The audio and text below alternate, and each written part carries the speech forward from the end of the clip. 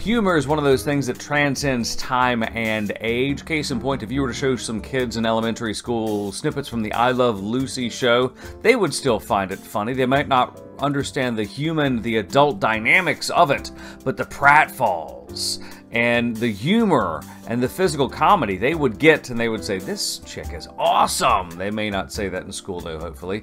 Lucy how lucille ball did it all. This is an illustrated book that's great for second grade all the way through sixth grade all the way through sixth grade because those sixth graders probably don't know about lucille ball and the content the educational content in lucy is such that those kids who are in sixth grade can still write a very simple paper on it.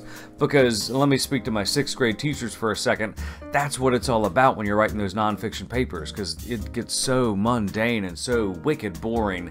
You gotta find something new to freshen it up.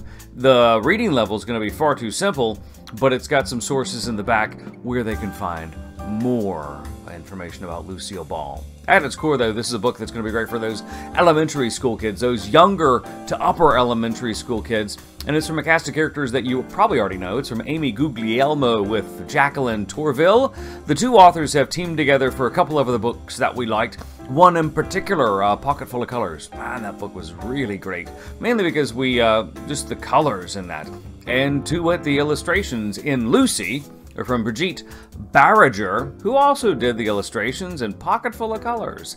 It's kind of like the sister book, except Lucy takes a softer look at it, and it's not, it doesn't run with such manic energy, but that's partially because of where it looks at in Lucille Ball's life. It takes a look at the pre I Love Lucy life of Lucille Ball.